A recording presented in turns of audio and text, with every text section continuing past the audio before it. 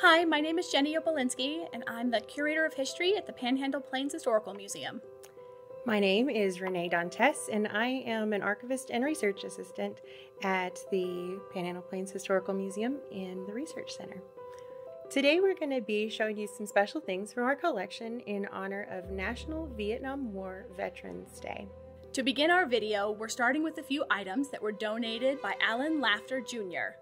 The donor purchased these items as a souvenir while a soldier in the Vietnam War. Allen Laughter Jr., possibly in Pleiku, South Vietnam in 1969.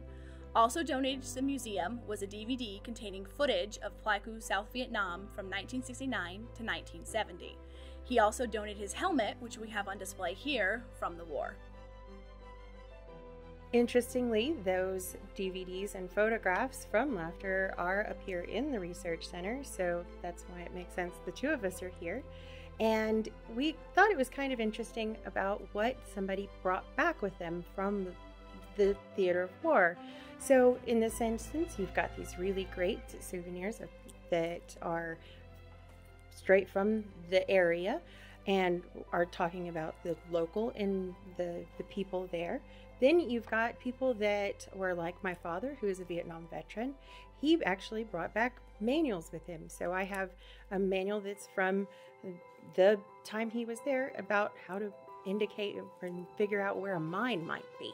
And that's very interesting and very, very dirty from having uh, served its, its purpose well, apparently.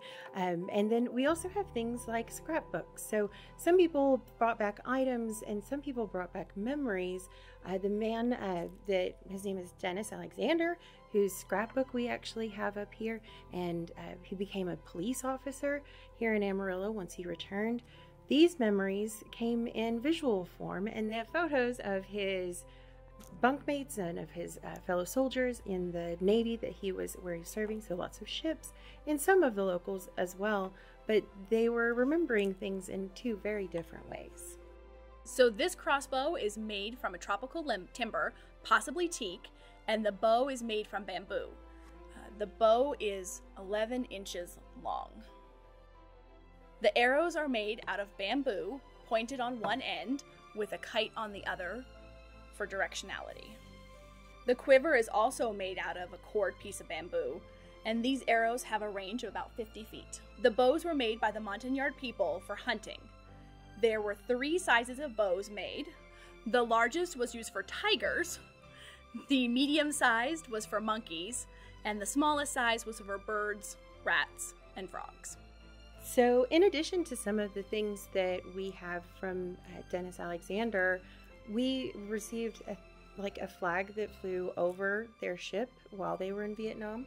There was a a, a tin can that was uh, painted with a Vietnamese flag on it that was uh, he disassembled an improvised explosive device which is interesting since you know we do have a, a, booklet on how to discover where the mines are this guy was actually taking them apart and brought some of it home and so it's interesting to see the, the things that um, that made it back with these individuals as they as they returned. They held on to these things that that reminded them of their time there, but um, and reminded them in very different ways. Mm-hmm.